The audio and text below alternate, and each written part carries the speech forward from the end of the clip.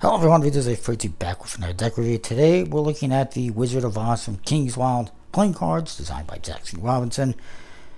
I will say uh, this is not based on the movie or movie characters, but it's inspired and based on the characters uh, from the old school book. Uh, Jackson Robinson decided to take some of those characters and bring them to life in a new, colorful uh, envisioning of his. So I think that's pretty cool. Put that by Expert Playing Cards. It's got a side opening tuck case that says Oz wrapped right around it. And it looks like a book from the other sides. With the ad copy on the bottom. No seal, obviously. Really, really big flap. It's a little bit too big, I feel. As you can see, to get it in, it's a little bit hard. You have to bend it. Could have been a little bit smaller. I think it would have been fine. And inside, you got, I don't know if that's supposed to be foliage or lizard skin, but it is what it is. I will say, these cards are warped to all hell. I don't know if they're all like that or what happened. But yeah. And I should also point out that there's a few different versions and cases and gildings out there as well. Now, you start off with some diptych, diptych jokers showing the gang heading to Oz. Really cool. The back design is got some nice foil in gold and it says Oz with a pattern of foliage in the background. Pretty cool. Nice emerald green color.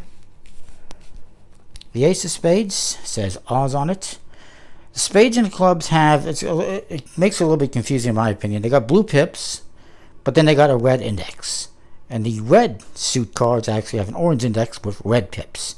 I feel like that can be a little bit confusing for gameplay, but I mean, artistically, it's fine. The court cards, of course, have all your favorite characters the lion, the cowardly lion, the flying monkey. I think that's the evil witch of the west. I'm not entirely sure. I think that might be the wizard. Not sure who that might be, other than perhaps the uncle. Of course, there is the um, Scarecrow. I think this is, was it Esmeralda, the Good Wits? One of them anyways. And then there's this guy. Maybe he's the wizard. It says Oz on his hat. I'm not entirely sure. And then there is Tin Man, Dorothy, and this freaky looking guy. and another freaky looking girl, actually. Not sure who those characters are. I never read the book, unfortunately. Now, it's not exactly what you would find in the book. I don't think there actually is images in the book, but it's basically, or maybe there is some, but it's his interpretation, his vision of what this should look like. And very colorful, of course. And I don't think they had color, so he just, that's, you know, his touch. Number cards, very nice. They got something going on in the background. Again, I do feel for playability purposes, the indexes kind of make it a little bit difficult. Hey, do I have a red card? No, wait, it's a it's a it's a blue card, black suit, and vice versa. But it is what it is.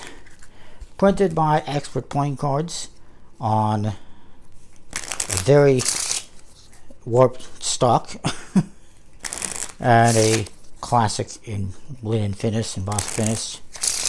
For you know what it is, as badly warped as it is, it still handles pretty nicely. And I'm going to go find someone to set on these and flatten them out.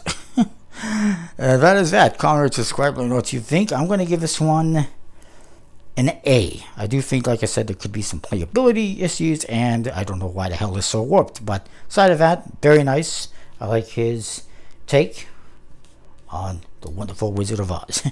so we'll see you next time for more. Thanks for watching, and See you next time.